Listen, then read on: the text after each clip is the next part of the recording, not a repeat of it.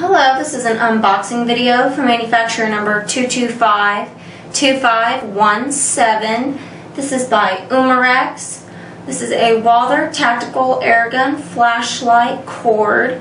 I'm going to unbox this with you so you can get a better look at it.